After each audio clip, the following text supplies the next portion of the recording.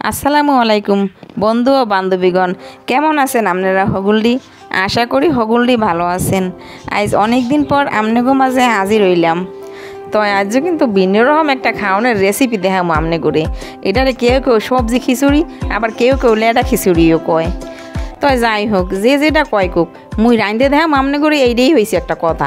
হুদা খিচুড়ি না এর লাগে বানামো বিভিন্ন ধরনের ভর্তা আর ইলিশ ভাজা। তাই চলেন এখন আস্তে আস্তে আমি করে দেখাই এই খিচুড়ি বানাইতে আমার কী কী ধরনের সবজি লাগছে আর কী কী ধরনের ভর্তাই আমি বানাইছি। এই খিচুড়ি রান্দার লাগে মুই আবার লইছি কদু, আনাজি কেলা, কোম্বা, ঝিঙ্গা, পাতাকপি, কাঁচামরিচ, আলু। লগে লইছি ভাতের চাল দুইশো গ্রাম আর লগে লগে লইছি বুটের ডাইল আর মুসুরির ডাইল একশো গ্রাম করিয়া। লগে লইছি তেঁতুলিয়া নদীর একটা ইলিশ মাছ। এই মাছটা কিন্তু আমি নিজে যাইয়া নদীর পাড়ে গনে কিনে আনছিলাম। এখন আমি আস্তে আস্তে সবজিগুলোর এক এক পথ করে কাটতে কাটতে লোমো। প্রথমে আমি ঝিঙ্গেগুলোরে কাটতে আসি। সুন্দর করে সিললে ঝিঙ্গেগুলোরে পিস পিস করে কাটতে লোমো। এক এক করে সকল ধরনের সবজিগুলোরে আমি কাটতে কাটতে লোমো। সবজিগুলো কাটতে কাটতে আমার আবার এই ছোটো কালের কথা মনে পড়ে গেছে। আহারে, ছোটোকালে মায় কত সুন্দর করে এই খিচুড়ি রাঁধতে এই খিচুড়ি রান্নার পর আমরা আবার ভাই বোনেরা মিললে কত স্বাদ করে যে খিচুড়ি খাইতাম।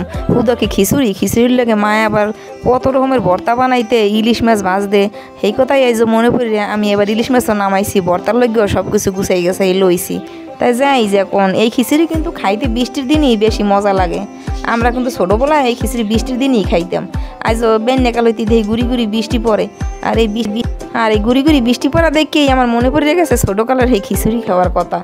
এই বেন্নেকালে উঠতে চিন্তা করলাম বৃষ্টিও যখন পড়তে আসে আজ আমি এই লেডা খিচুড়ি রানমোই রানমো, এই লিগে মনে করে সাথে সাথে আমি সব কিছু গুছাই গেছাই লইছি, সকল ধরনের সবজি কাটাকুটা করে লইছি।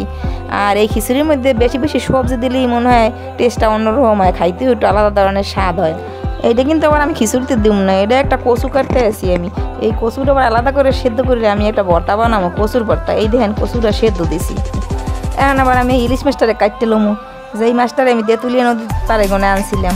তেঁতুলিয়া নদীর মাছ আবার একটু খাইতে মিষ্টি লাগে, স্বাদ লাগে আলাদা। এখন মাছটারে আমি পিস পিস করে কাটতে লমু। এই মাছটারে আমি এই খিচুড়ি দিয়ে খাওয়ার লেগে বাজিয়ে নেব এখন আমি হগল মাছটারে পিস পিস করে কাটতে লইলাম। মাছটা কাটার পরে আমি ধুয়ে টিয়ে লইছি। এখন আবার খিচুড়ি রান্নার লাগিয়া এই করের মধ্যে তেল দিলাম কতখানি। তেলের মধ্যে আবার আমি পেঁয়াজ, রসুন, কুচি এগুলো আস্তে আস্তে দিয়ে দেবো ওই গরম মশলা হগলগুলো একটু একটু করে দিয়ে দিছি। তেজপাতা, দারচিনি, এলাচি লগে আবার দিয়ে দিলাম একটু কালো জিরে আর মেথির একটু ফোড়ন, এই। এখন আমি সব কিছু আস্তে আস্তে লাড়ি সেটা একটু বাজিয়ে লইলাম।